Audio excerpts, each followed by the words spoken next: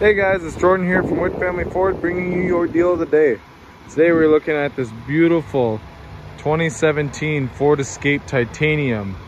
It does have the premium wheels on it in this beautiful white metallic color.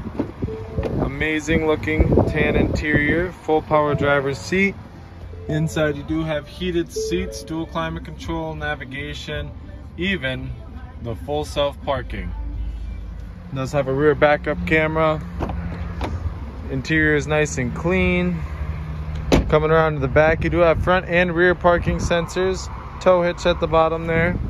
It is a four-wheel drive EcoBoost engine with a 2.0 power lift gate and a good amount of room for whoever needs anything to haul or store. You can pick this beauty up for me today for 19877 that's a 2017 ford escape titanium just under or just over 57,000 miles. See you soon